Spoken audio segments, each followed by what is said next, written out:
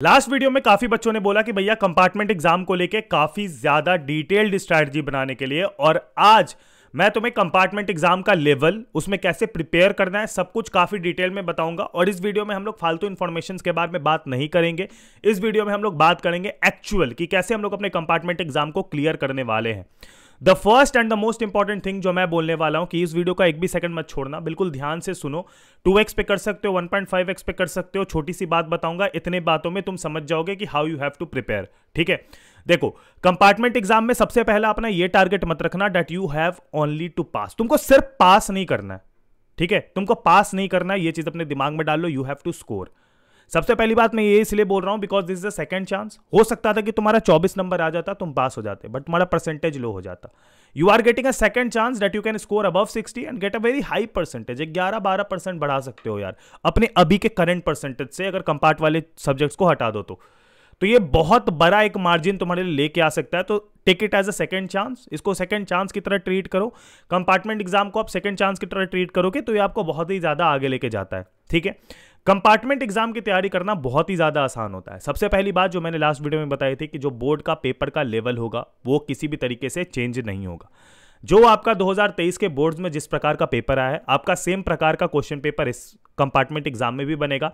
अगर आप चाहो तो कंपार्टमेंट एग्ज़ाम के प्रीवियस ईयर क्वेश्चंस देख सकते हो। गूगल पे इजीली अवेलेबल है, टेलीग्राम पे इजीली अवेलेबल है। आप वहाँ से उसको देख सकते हो। और आपको एक आइडिया मिल जाएगा कि येस दिस इज़ सेम हाँ बहुत सारे ऐसे कंपार्टमेंट एग्ज़ाम के प्रीवियस ईयर क्वेश्चन आपको देखने को मिलेंगे, जिसमें कि आपके बहुत ही कंपेरेटिवली लो लेवल के क्वेश्चन आते हैं और उसका मेन रीजन यही होता है that CBSE wants to pass everyone लोगों के अंदर एक छोटी सी मिसकंसेप्शन आ गई है कि सीबीएसई लोगों को फेल करना चाहती है कंपार्टमेंट में बच्चों को फेल करना चाहती है, ऐसा बिल्कुल भी नहीं है। सीबीएसई कंपार्टमेंट में हर बच्चों को पास करना चाहती है।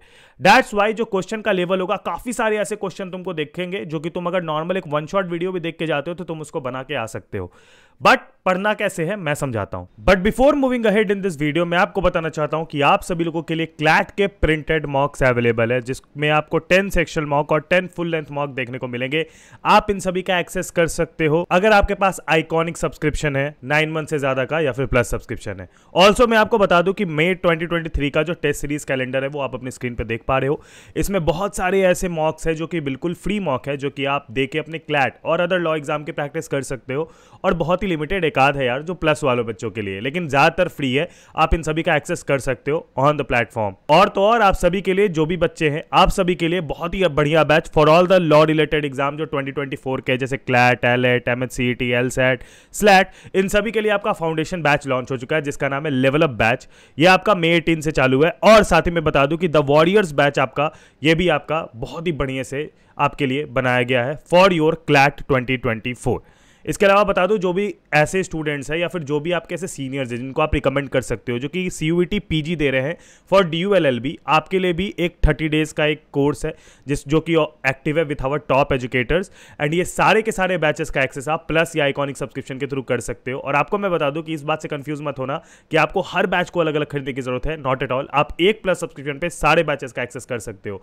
तो सारी लिंक मैंने डिस्क्रिप्शन में दे रखी है। बेटर और बेस्ट डिस्काउंट के लिए कोड यूज़ कर लेना पीडीएन स्टैन जाओ फटाफट all links are given in description box सबसे पहले तो यार, अपने पढ़ाई को तुमको पता होना चाहिए कि तुम्हारे पास कितना समय बचा है। जुलाई में तुम्हारा कंपार्टमेंट एग्ज़ाम है, उसको बहुत लिमिटेड करके तुम एक स्केड्यूल बनाओ। स्केड्यूल इन द सेंस कि सबसे पहली बात है कि अभी दिन के बारह से चौदह घंटे मिनिमम पढ़ो।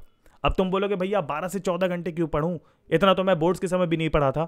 बट एक चीज़ याद रख लो कि अभी तुमको अगर आगे निकलना है, अगर तुमको अभी एक्चुअली में अपना कंपार्टमेंट कंपार्टमेंट फोड़ना है तो अभी खुद से ही पढ़ना पड़ेगा। कोई भी बैचेस या कुछ भी ऐसा बकवास लेके कोई मतलब नहीं है। वो कुछ नहीं करेगा, वो बस तुम्हारा टाइम पास होगा उससे। ठीक है? मैं एक चीज़ बता देता हूँ, अभी तुम्हें कोई भी बैचेस ठीक है? बहुत सारे लोग बैच लॉन्च कर रहे हैं कंपार्टमेंट के लिए, इसलिए बता रहा हूँ। अभी तुम्हें कोई भी बैचेस कंपार्टमेंट के लिए नहीं बचा पाएगी। फ्री एजुकेशन उठाओ यूट्यूब पर सब इजिली अवेलेबल है। ठीक है? तो उस चक्कर में मत पढ़ना। दूसरा, अपने स्केड्यूल बना लो कि तुमको ऐसे ऐसे पढ़ना है। सबसे पहली बात मैं ये बता देता हूँ easy to moderate to hard chapter जाना। इजी और मॉडरेट चैप्टर में बहुत सारे ऐसे लेट सपोज़ तुम्हारा केमिस्ट्री में लगा है compart just go up with physical and organic तुम्हारा काम हो जाएगा। अगर तुम्हारा फिजिक्स में लगा है कंपार्ट तो फिजिक्स में बहुत सारे ऐसे चैप्टर है। स्पेशली अगर तुम बात करो पार्ट टू वाले बुक में, जिसमें light ray optics wave optics ये सारे चैप्टर्स हैं, वो सारे कंपेरेटिवली बहुत ईजी है टू स्कोर ठीक है? एक चीज़ मैं बहुत इंपॉर्टेंटली बता देना चाहता हूँ, इस बार थ्योरी पे पूरा फोकस देना because theory is the king अगर तुम थ्योरी पे पूरा का पूरा अपना फोकस दोगे, ठीक है? अगर तुम थ्योरी पे पूरा कंसंट्रेशन दोगे, तुम्हारा काम हो जाएगा। Whenever you are watching a one shot एक चीज़ रिमेंबर रखना, एक चीज़ याद रखना कि तीन घंटे से ज़्यादा का होना चाहिए वन शॉट तीन घंटे से कम का कोई सा भी वीडियो जो है यूट्यूब पे वो डिटेल्ड नहीं है, मैंने चेक कर लिया है। तीन घंटे मिनिमम उसका लेंथ होना चाहिए तब आपको इतना इनफ डिटेल मिल जाएगा कि आप ट्वेल्थ के बोर्ड एग्ज़ाम को क्लियर कर पाओ। ठीक है? अगर आपको लगता है ट्वेल्थ के बोर्ड एग्ज़ाम को एक डेढ़ घंटे के वन शॉट से क्लियर कर सक, किया जा सकता है तो ये बिल्कुल गलत है। आप उसको रिविजन परस्पेक्टिव से लास्ट डे परस्पेक्टिव से देख सकते हो बट अगर आप उसको स्क्रैच से पढ़ने के लिए देख रहे हो तो मैं आपको बता देता हूँ आपको वन शॉट देखना होगा फुल लेंथ का।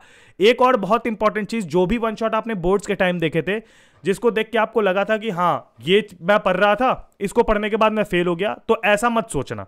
तुम वही सेम वन शॉट देख के दोबारा अगर पढ़ाई करते हो ना, पहली बात की चीज़ें मेमोरी वर्ड्स मेमोरी में है, सारी चीज़ें जल्दी रिसाइट होगी, जल्दी याद होगी और थोड़ा सा वो रिलेवेंशी लगेगा।